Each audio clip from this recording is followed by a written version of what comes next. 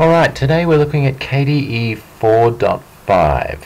Now, I, again, I realize KDE 4.5 came out a while back, but again, so for stability's sake, I think it's now it's a good time to have a look at it in depth. On the KDE release website, it says December updates stabilize KDE 4.5 further, and it goes through all the updates that they've made.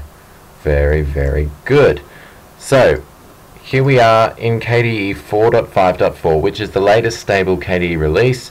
And just as a side note, we're, we're running inside um, PCLinuxOS. Let's talk about the look and feel. Now, the look and feel of KDE 4.5 is extremely modern, and I really like it. There are many, many, many wallpapers installed by default in the artwork packs that you can download through the repositories it's a real testament to the excellent quality that these guys put into their artwork. Okay, let's have a look at system settings. System settings is basically a control panel where you can adjust everything to do with the user account. Some distributions handle this differently as far as root user settings and user level settings.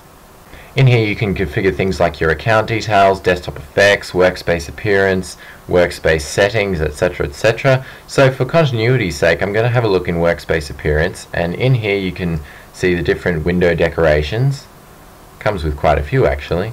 The desktop theme which by default is Air, very nice. Air for netbooks, Glass, Glassified which is the one that comes default with PCLinuxOS. Again, very nice one. There we go. It's a much sharper, it's a much sharper look. And oxygen, which is basically a dark, a dark version of air, which again is also very nice. So we'll go back to air as the default. You can also configure the splash screen, which I have done. And you can also configure things such as network settings and hardware as in device actions. When you plug something in, what happens? That type of thing. You've got a font installer, which is very helpful. Login screen, and you've also got workspace configuration which lets you switch to the netbook interface.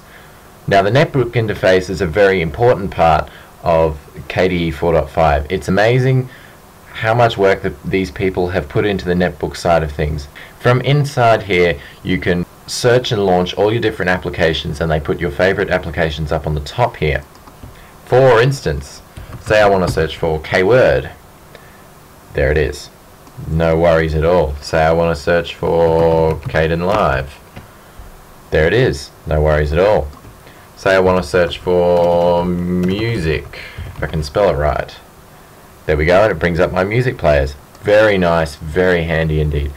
Seven running apps, it displays all the applications you're running, and you've got your you've got your system tray, and you've got your page pages, which is page one, for your different news feeds, weather forecasts, knowledge base, you name it. It is a beautiful interface and I think it would really make those Mac fanboys stand up and listen when, when you pull out this on your touchscreen on your touchscreen tablet, etc. Now basically everything with KDE is based on plasmoids or widgets if you will. You can add any widgets you want and just fill up the screen with all your favorite stuff. There we go, look at that.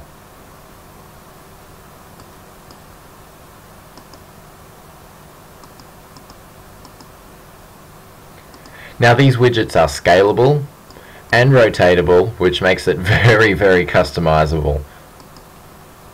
Now let's talk about some applications. By default, KDE is not just a desktop experience, it is also the applications that are installed with it. Anything that has a K in front of it in these menus is basically a KDE application. Let me show you. So first, let's have a look at some Office apps. Now, KDE comes with KOffice. It doesn't always come with it, but it's always packaged in the repo. So if you want to search for it and download it, it's the KOffice suite. Now KOffice comes with KWord, which is this one here. Great word processor.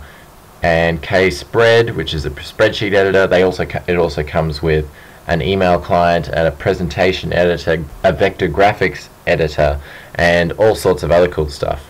Also the graphics side of KDE is not lacking at all. They have Krita, which is their raster-based graphics program, a lot like GIMP in a sense, but it's fully featured. It has all this, it has all the stuff that you'd expect from a graphics editor. Very very handy, and quite honestly, it's quite professional.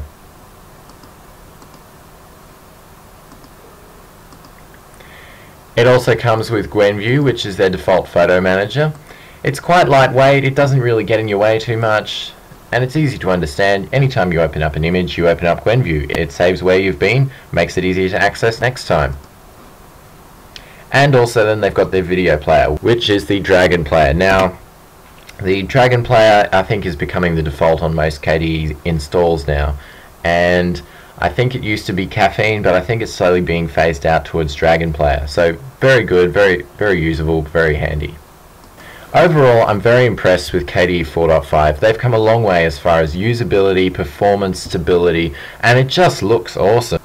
It competes easily with something like Windows 7 or OS 10, and it really provides users with something they can take to their friends and not feel like an absolute nerd for running Linux. So I'm very impressed with KDE 4.6 around the corner. My only suggestions would be that the compositing manager for the Windows needs to get a little bit quicker. The 3D effects are a bit sluggish, but I've already found out that they are working on that for future releases of KDE, so I'm looking forward to them getting that under control. Otherwise, my only other suggestion would be taking a leaf from the GNOME book and trying to simplify a few things. KDE has